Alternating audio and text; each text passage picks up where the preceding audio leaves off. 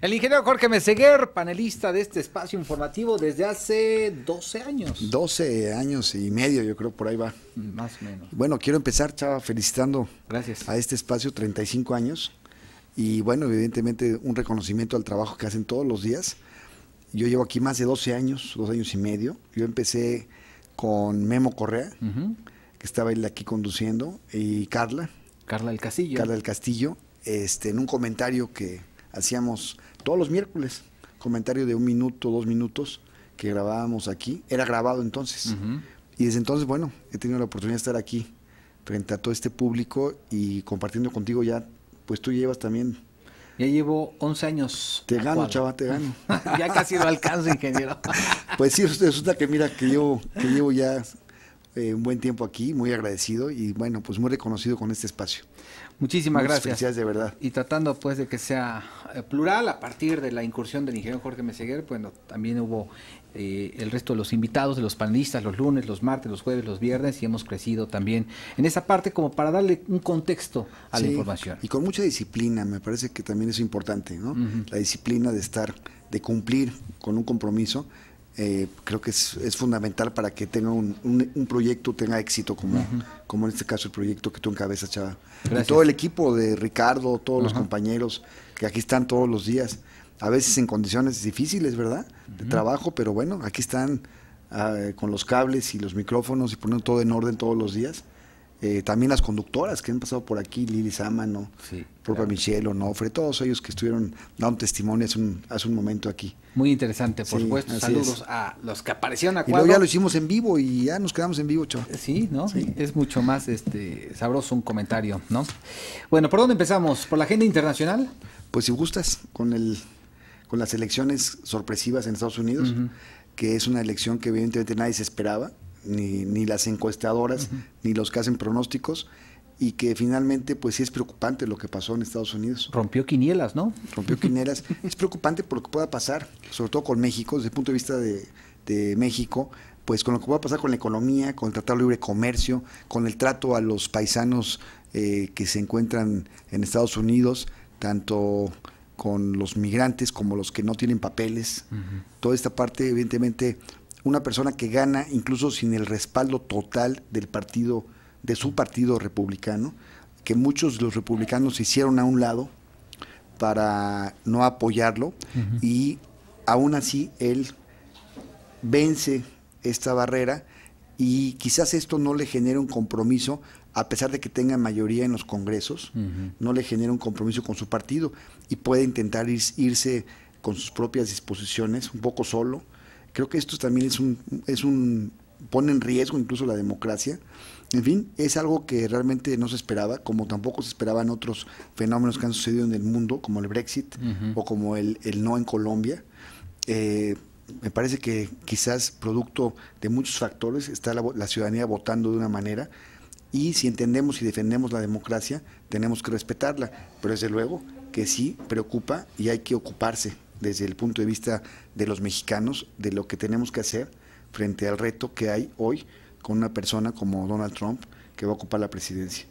Me parece que el Tratado de Libre Comercio, todo el intercambio que hay, no solamente las fronteras, en fin, todo, todo lo que tiene que ver con esta relación que debiera ser una relación como ha sido con altibajos, pero bueno, finalmente ha sido una relación eh, de vecindad, pues puede ser una relación difícil, mucho más complicada, mucho más compleja y sobre todo, pues, eh, compitiendo o estando frente al país más poderoso de la Tierra. Ahí tendría México que buscar también aliados comerciales, sobre todo si es que se afecta el Tratado de Libre Comercio en otros en otras latitudes, empezar a abrir otros mercados, en fin, tomar medidas porque evidentemente las cosas no sabemos con ese discurso, que con ese discurso que llegó, si realmente lo va a cumplir o no lo va a cumplir. Si hay conciliación con los que no votaron por él, ¿no? Porque estuvo dividido el asunto. Sí, además este discurso de odio, ¿no? de odio, de polarización, eh, esa actitud machista él hacia las mujeres, esa actitud hacia la mujer de, bueno, pues eh, no, no dignificarla, sino yo diría considerarla como un objeto, ¿verdad? Atacarla. Atacarla como un objeto, un objeto sexual incluso, simplemente esta visión pues choca y a veces no entiendes cómo alguien pueda votar por eso. pero la gente está votando. Y por otro lado, bueno, pues también después de una gestión y de un presidente tan querido y tan respetado como Obama, pues tampoco te explicas cómo la gente no da el espaldarazo a la candidata del propio partido del presidente Obama. es, es un golpe y una derrota también para el presidente Obama, desde luego, cuando sale con un alto nivel de popularidad de él como presidente, él y su esposa Michelle, con un alto nivel de, aceptación y popularidad, después de ocho años de estar en la Casa Blanca. Entonces, bueno, me parece que es un fenómeno que también toma a México descuadrado, porque bueno, con eso que lo invitaron en la campaña, este, después ya como que México se alejó un poco, eh, en fin, todo lo que ha pasado, no hubo una relación clara tampoco, ni tampoco una respuesta clara del gobierno mexicano. Tardó mucho en felicitar el presidente a, Donald Trump y también una postura oficial tardó bastante, ¿no? Ha habido como que no, se presentía o se percibía que no sabían qué hacer, cómo manejar eh, este fenómeno, que nadie, que nadie se lo esperaba tan claro. Quizás en los peores pesadillas sí, pero no que fuera a materializarse esta realidad. De la agenda internacional a lo local, mañana inicia este encuentro empresarial de la Coparmex 2016 aquí en. Sí, vamos a participar este, como invitados, estamos participando eh, muy importante, es un encuentro que el hecho de que sea Morelos la sede nacional de este encuentro de Coparmex es el escaparate, un escaparate nacional para Morelos, donde tendremos la presencia de 800, 900 empresarios de todo el país eh, de 65 sedes del país, donde queremos que se lleven una muy buena impresión de Morelos, eso por, para empezar.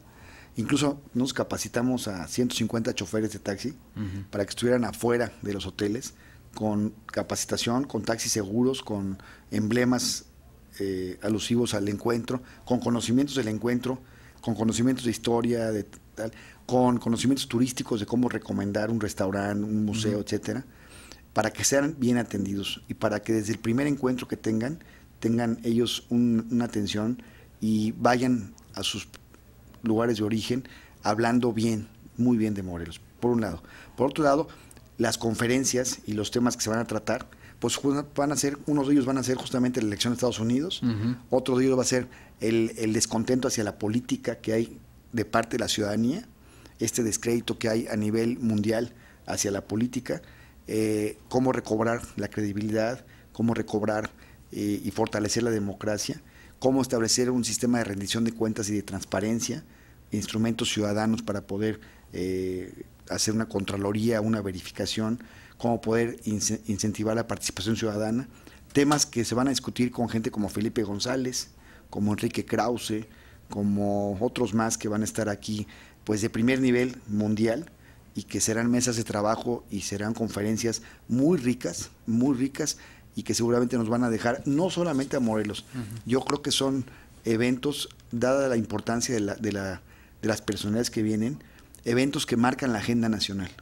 Yo creo que con lo que pasó ayer en Estados Unidos, en este evento de Coparmex seguramente saldrán algunos eh, lineamientos, algunas propuestas de esta clase empresarial nacional que pudiera retomar el gobierno federal en una agenda para poder enfrentar el fenómeno Trump. Me parece que va a ser un encuentro muy propicio con lo que pasó el día de ayer. Entonces todo esto va a ser aquí en Morelos el día de mañana y el día viernes. Mañana tenemos hasta una conferencia muy importante y el viernes también termina a lo largo de la, del día hasta la tarde. Eh, evidentemente también pues estarán en Jardines de México, estarán eh, conociendo algunos lugares emblemáticos de Morelos y ojalá que muchos de ellos también puedan quedarse aquí a pasar el fin de semana y bueno, puedan disfrutar de Tepoztlán, de Xochicalco. Eh, hay diferentes propuestas que se les han eh, proporcionado desde la Secretaría de Turismo para que puedan ellos conocer y visitar Morelos. Aprovechar el viaje, ¿no? No, excelente, que es una gran oportunidad para, para Morelos. Muy bien, ingeniero, muchísimas gracias por estar Al contrario, Chava, gracias a ti. Que le y felicidades nuevamente. Gracias, le agradecemos eh, su tiempo también para este espacio de noticias. Regresamos.